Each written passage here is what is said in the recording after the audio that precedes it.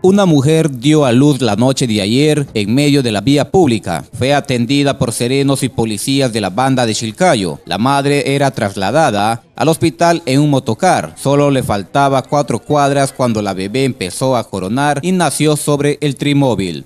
Los miembros de Seguridad Ciudadana llamaron de inmediato al personal de salud quienes asistieron a la madre de familia y la ayudaron a alumbrar a una bella niña.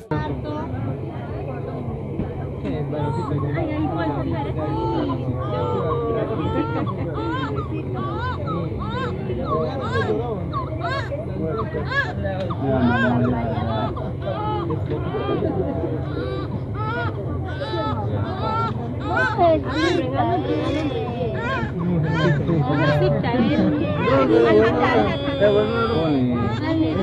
ver, hagan espacio, por favor.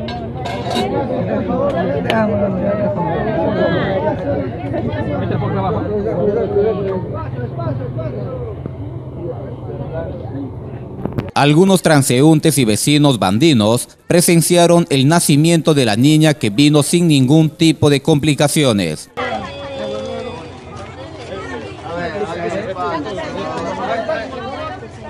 Retírese, amigos. Retírese un poco más allá, retírese, retírese.